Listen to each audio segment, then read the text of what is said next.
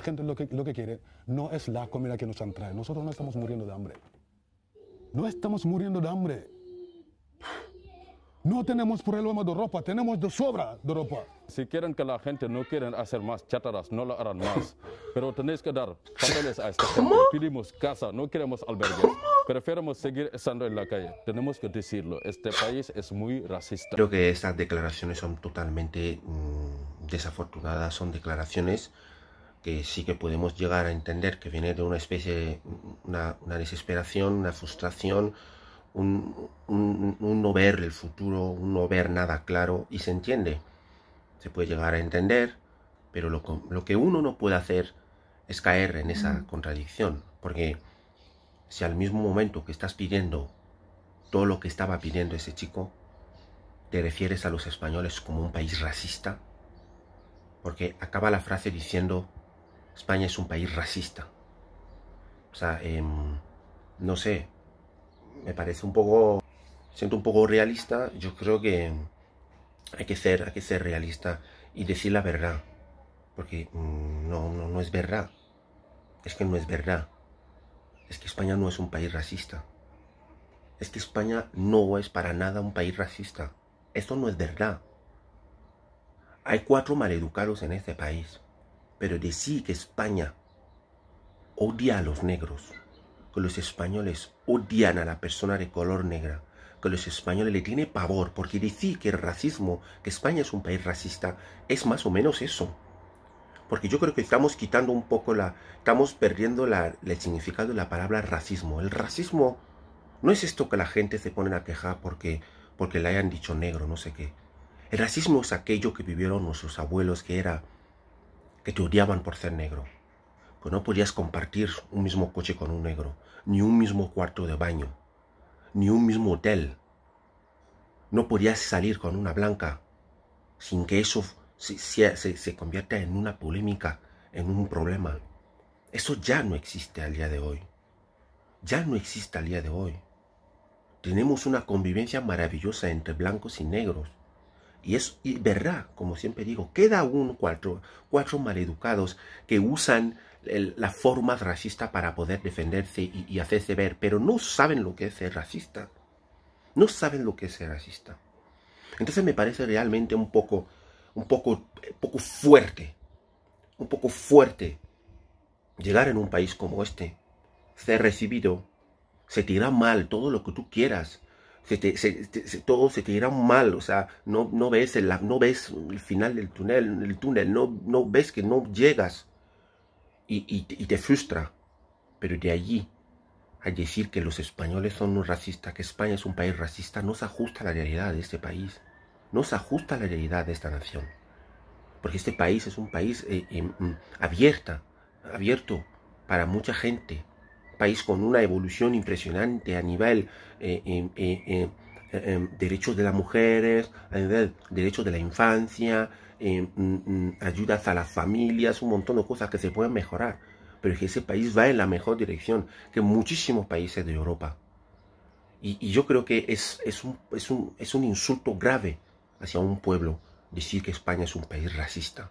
Y que lo diga una persona que ha llegado aquí para buscarse la vida y para pedir que le ayuden, que la cojan. Porque al mismo momento la frase antes estaba hablando de pedir casa y pedir papeles, pedir todo eso. Yo no sé. ¿Cómo puedes estar pidiendo papeles de un país que es racista? ¿Cómo quieres establecerte en un país que consideras racista? Yo no lo entiendo. Porque si realmente piensas que el país racista, deberías estar pidiendo que te devuelvan al tuyo o que, te, o que quieres ir a otro que no lo es. Pero ¿cómo puedes al mismo momento decir España es un país racista y al mismo momento decir que quieres papeles y quieres casa y quieres no sé qué. Yo creo que es un poco incoherente y, y, también tenemos que ser realistas y, decir la verdad. Nosotros venimos de países donde la gente vive con centavos. La gente no tiene nada. La gente vive de lo que cultivan de la tierra. Subvenciones no he visto lo que es. No sé lo que es. En Camerún nada. En mío nadie. El gobierno no te da ni un centavo porque no tienes nada. Eso que se hace aquí un subsidio de desempleo no existe en mi país. O un 100 euros para cada familia que no tiene nada no existe en mi país.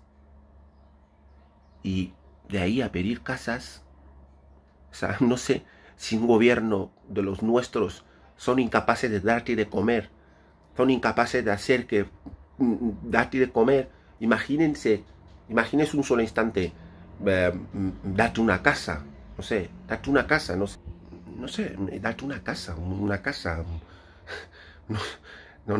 Es que a mí todo eso me, me, da mucho, me da un poco pena y rabia a la vez. Porque esto está llevando a un punto a los españoles que se están, está acabando su paciencia. Está acabando su paciencia. Muchos acaban diciendo basta ya. Muchos acaban repudiando al inmigrante. Muchos acaban diciendo que esto ya no puede ser. ¿Por qué? Porque simplemente aquí en España hay un montón de españoles que están en una situación que yo digo, tú puedes ser migrante, pero acércate en la realidad de muchos españoles. Eso lo hago yo. Si te vas a, Fundación Madre, que está aquí en Madrid, tú ves la larga cola de españoles con todos sus hijos, esperando para que le den un bote de arroz y verduras y no sé qué. Un español que le está pasando mal.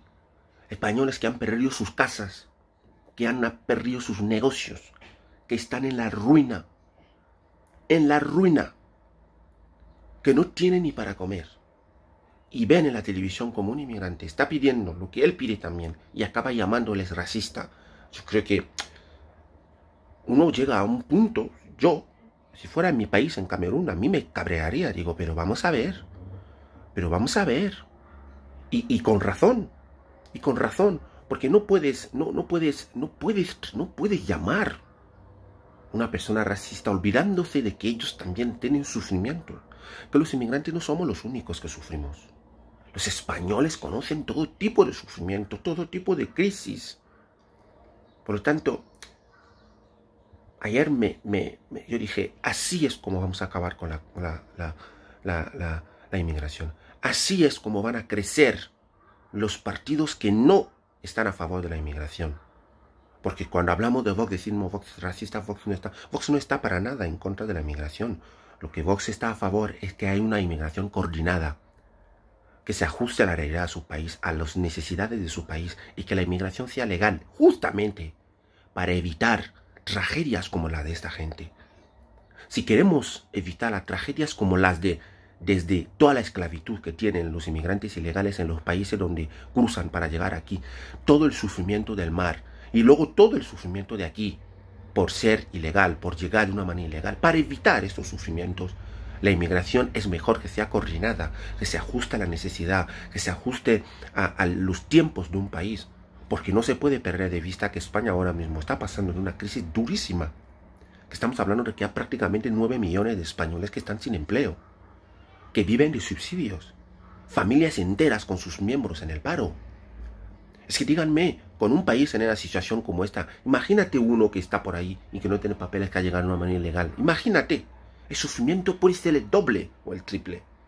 Y este es el problema. Ese es el problema de la inmigración ilegal. Que luego engloba un montón de sufrimientos que luego nadie quiere ver. Que los que aplauden la inmigración ilegal no son conscientes de ello. No son conscientes del sufrimiento que ello. Como decía el cardenal que decía, eh, eh, eh, la nueva esclavitud del siglo XXI se llama inmigración ilegal. Lo decía un cardinal, no me acuerdo su nombre, un cardinal negro del Vaticano. Y lo que dice es realidad. Porque es duro ser un inmigrante ilegal. Los sufrimientos que te encuentras por estar de una manera ilegal, porque no ves, no hay nada, y la gente que te explotan también. La gente que se aprovechan de tu situación de irregularidad para aprovecharse de ti. Y ese es el grave problema de la inmigración ilegal. Y si a eso lo añades esta soberbia, como lo llamo yo, de insultar toda una nación, llamarle racista, pues es que yo creo que vamos, no, no vamos a mejorar, vamos a ir a peor, vamos a ir a peor. Y yo, yo animo a la gente que, que reflexione sobre esos comportamientos, que se pueda entender su sufrimiento, su frustración, su tal. Pero los españoles no son responsables de ello. Los españoles no son la consecuencia de ese sufrimiento. No han hecho nada para merecer ese insulto de llamarles racistas todos los días cuando no es verdad. Yo creo que para salvar la inmigración, este camino es equivocado. Cuando hablo de inmigración habla tanto de la legal como la ilegal. Si queremos salvar por lo menos la inmigración legal, que ha existido siempre, que ha existido siempre y que es maravillosa, si la queremos salvar, estos tipos de comportamientos tenemos que pararlos. Os lo digo de todo corazón, porque yo soy inmigrante y por cosas así uno como yo acaba siendo mal visto. Otro como está por ahí trabajando, muchos negros que trabajan de este país de una manera eh, eh, humilde, muchos suramericanos que trabajan aquí de una manera humilde todos los días, nos acaban metiendo todos en un mismo saco. Nos acaban metiendo todos en un mismo saco y eso es mal, es mal, mal, mal. Y, y, y hay, que, hay, que, hay que reflexionar sobre eso. Hay que reflexionar sobre ello y tomar medidas y corregirlo y ser unos inmigrantes dignos, humildes y transparentes que han venido aquí para buscarse la vida.